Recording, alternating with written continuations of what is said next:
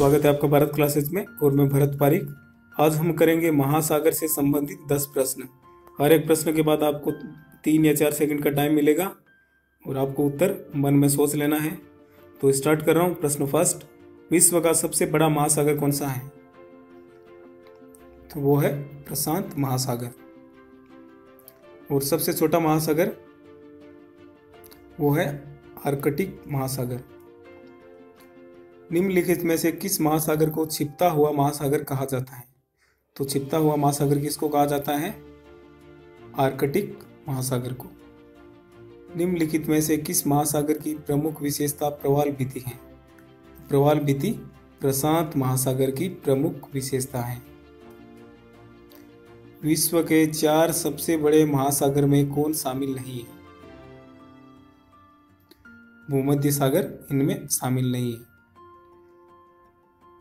Mariana trays, कौन से महासागर में स्थित सबसे गहरा ट्रेज है? तो वो है प्रशांत महासागर में स्थित सबसे गहरा ट्रेज, मेरियाना ट्रेज है। क्षेत्रफल के अनुसार महासागर का सही अवरोही क्रम अवरोही क्रम का मतलब होता है घटते क्रम में, जैसे दस, नौ, आठ, सात छ पाँच, ऐसे घटते क्रम में। यानी सबसे बड़ा सबसे बड़ा वो आएगा पहले तो वो है प्रशांत महासागर, उसके बाद आता है अटलांटिक महासागर, उसके बाद हिंद महासागर और आर्कटिक महासागर। तो उसका आंसर है ऑप्शन फ़र्स्ट।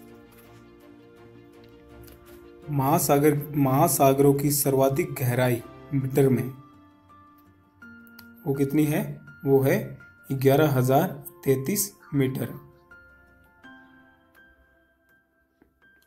महासागरों की औसत गहराई। महासागरों की औसत गहराई कितनी हो सकती है? वो हो सकती है 3800 मीटर। विश्व का सर्वाधिक चौड़ा महाद्वीपीय मग्न तट किस महासागर में स्थित है?